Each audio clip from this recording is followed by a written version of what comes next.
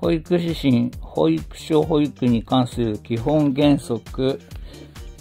保育所の役割、今日は絵です。はい、子供のまーちゃんです。えー、おはようございます。えー、今日は、あ保育所の役割の絵ですね、えー、ところから入ります。えー、では早速、保育所における保育士は、児童福祉法第18条の4の規定を踏まえ、保育所の役割及び機能が適切に発揮されるように倫理観に裏付けられた専門知識、技術及び判断をもって子供を保育することとも、保育するとともに、子供の保護者に対する保育の関する指導を行うものであり、その職責を遂行するための専門性の向上に絶えず努めなければならない。解説。保育士については、児童福祉法第18条の4において、保育士の名称を用いて、専門的知識及び技術を持って児童の保育及び児童の保護者に対する保育に関する指導を行うことを業とするものを言う。との規定に、規定が置かれている。これを踏まえ、保育所における保育士は、子供の保育や家庭での子育ての支援に関する専門職として、保育所、保育の中核的な役割を担う。保育所の保育士に求められる主要な知識及び技術としては、次なことが考えられる。すなわち、えー、マルチ、これからの社会に求められる資質を踏まえながら、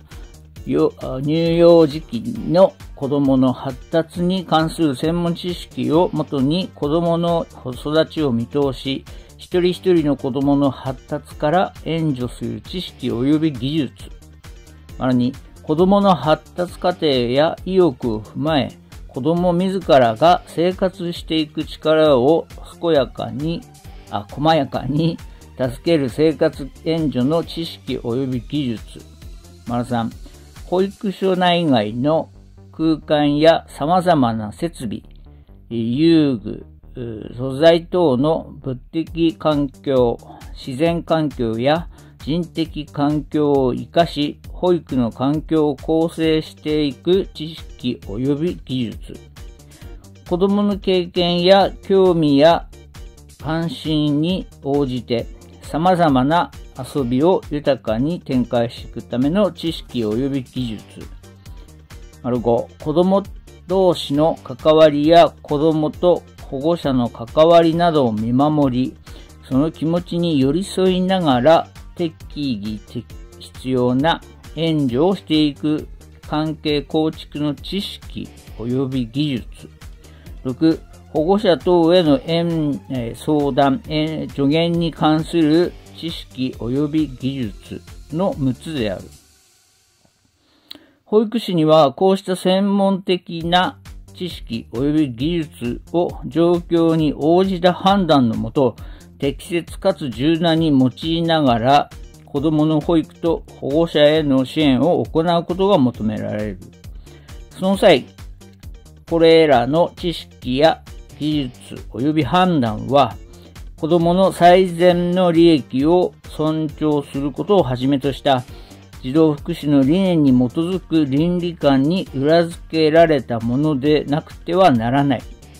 これらのことを踏まえ、保育所における保育士との職責を遂行して、行くためには、日々の保育を通じて事故を小殺するとともに、同僚と共同し、共に学び続けていく姿勢が求められる。幅広い観点において子供に対する理解を深め、子供も子供や子子育て家庭の実態や社会の状況をと捉え捉えながら、自らの行う保育と保護者に対する支援の質を高めていくことができる。よう、常に専門性の向上に努めることが重要である。と、えー、あいうえの A の方ですね。えーえー、内容がこのようになってます。で、えー、ここで言うとね、えー、倫理観に裏付けられた専門的知識及び技術っていうものが大事だよということ。で、保護者に対する保育に関する指導を行うということも大事ですね。で、児童福祉法第18条4においてっていうことで、前回の方でね、えー、国際法でね、子供の権利というものがね、えー、それにあの日本が批准したということで、えー、児童の福祉の理念とかいうことが明確になってますよね。うん。その中で、えー、まー、あ、ちゃんが、あ前あ前回かあ、もうあのお伝えしましたけども、あの、保護者への相談助言ですね、の技術を知識及び技術とかっていうところとかね、えー、子育てするのに大変でね、えー、共働きで、えー、子供を見てあげることがすごい困難であるとか、そういう場合に、えー、保育所に相談、もしくは行政ですね、えー、市に相談をして、一時一時預かりしてもらうとかね、そういうこともできるんだよ、実はっていうことがここで踏まえられていますね。ただ保育所に行って保育をするだけが保育士の役割ではないということなんですよ。だから、あのまー、あ、ちゃんが、あの、たまにね、子供の、子供に関連するニュースとか、うん、そういうところで不適切な対応をとってるのはもう当たり前にダメなもので、それ以上に、えー、その地域に対する保育指導をするということが含まれてくると。これはなぜかで言うと、やっぱりそこからね、あの、国家資格になったと。昔は保育士さんって言わないですよね。保母さんとかってよく言われたりね。してたわけじゃないですか。で、それがまず明確ではなかった。まあ、その歴史をまだちょっと紐解いてませんけども、まあそういうところで予測としてね、私の考察で考えていくと、やっぱり、うーん、誰でもできるんじゃないかなとか、そういう流れがあって、給料も低いというようなこともちょっと感じられますよね。うん。だけど、保育士、国家資格を取って、えー、保育士としてやるんであれば、やっぱ国家資格を取るっていうことはさ、ね、国家が、国がね、あのー、認めてね、で、えー、要は国の手先になるわけですから、やっぱり国家資格を持った人に対しては、それなりの給料を支払うっていうのが筋だと私は思いますけども、まあそこら辺をね、えー、うん、もう少し考えてほしいなと思いますが、これ反省の方で言えばよかったね。えー、ということで、まあ、保育所、保育園の中核的な役割として、こういうことが述べられています。まず今日はこれで以上とします。あとは反省会反省会まあ、うん、そっちの方でお話しします。では、今日はこれまでです。はい、終わります。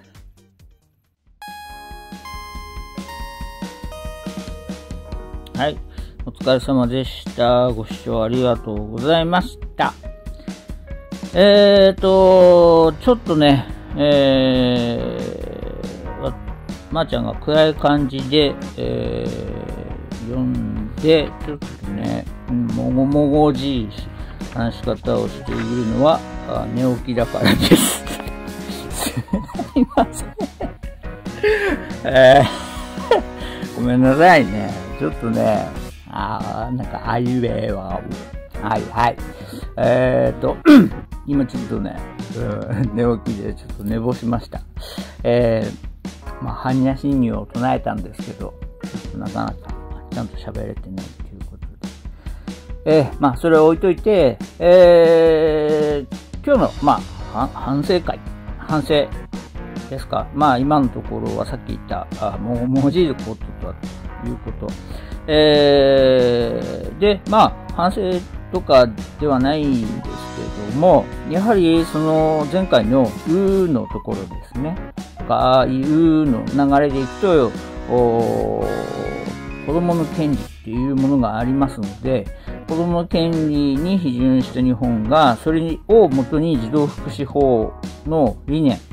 をね、え明確にしながらやっていくと。その中には、こういう中核的なあ子供を見る、そして地域に参加して、え助言を行うと。実際ね、あのー、見たことあります？皆さんで。地域の人からの相談されて、保育士が、あこうじゃないですか、じゃないですか、とかって。ね。なかなかないですよね。っていうか、全くないですよね。うん、見たことないなと思います。うん。まあそこら辺はね、なか、なかなかというか、なんだろうなうん、その保育所のやり方として、いや、それはあの、保育、あの、行政に任せるべきだとか、保育所じゃなくて保、保健所か、保健所の方に行ってもらってとか、児相にね、児童相談所にね、えー、相談してもらってとかっていうことになるのかなと思いますけども、でもね、最初の入り口ぐらいはね、あの、私は聞いてあげるべきだと思うんですよね。うん、どうしたんですか？と。で、その内容、要点をまとめて、で、えー、こういうことで、こういうことで、えー、悩んでいるそうなんですけども、あ詳細に聞いて、えー、対応してくださいと。それを、あの市役所の方に、投げかけると。それで、え市役所の方に電話して対応してもらうということがいいと思います。ていうかね、あのぶっちゃけね、私思うんですけど、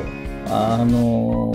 子供を連れ回しながらね、パチンコに行ってなくなさせたりとか、いろんなことがあるんですが、それもね、やはり、あの、保育士に相談すべきだと思います。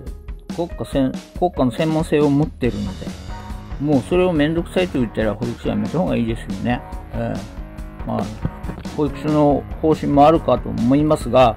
まずその地域に、まずね、保育所があれば、やはりそこでは受け入れしなきゃいけないということを歌ってますので、保育とかでね。うん、そこら辺は、あそうしてほしいと思ってます。えー、まず、いろいろ 言いたいことあるんですけど、おやめます。えー、それでは今日ご視聴ありがとうございました。またの動画でお会いしましょう。では。